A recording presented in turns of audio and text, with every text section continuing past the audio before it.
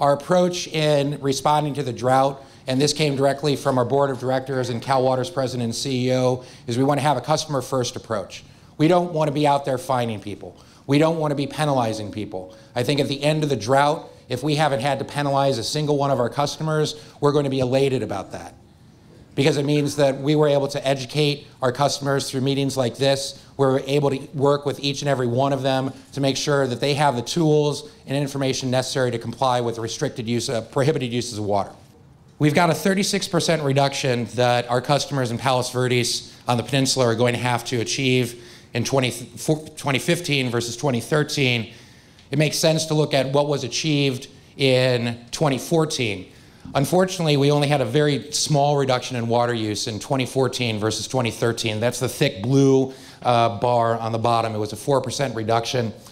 So to get to where we need to get to by the end of 2015, it's an additional 32% reduction that we're going to have to get this year uh, for the rest of the year through February 2016 uh, to get to where the governor has told us that we need to be at. Uh, 2013 and the beginning of 2014 for us, we were in a remodel. Okay. So our water usage was almost nil. What do I do before June 4th through 1st to appeal that? Right, so that, that's the exact type of thing that is going to be, you're going to be able to go through the appeals process to look at what the water use was in 2013 versus 2014.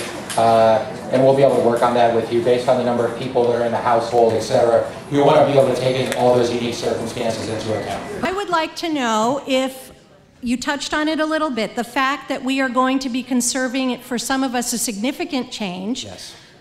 How do you deal with revenue versus rates? I don't want to get another bill, another letter a year from now saying, well, the rates have been, you know, we've, everybody's conserved, revenue has dropped. We all know nothing is free. You're talking about free toilets, free nozzles, free sprinkler heads, free services for people to come do um, the conservation surveys.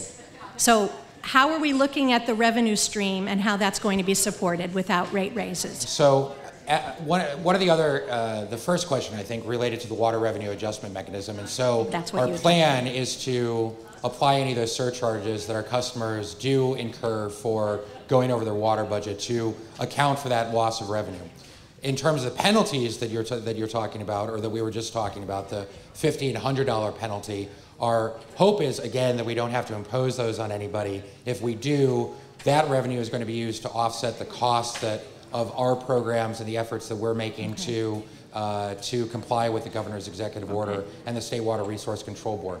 Now, that being said, I'm, I, I can't make a pledge and say that rates are never going to go up.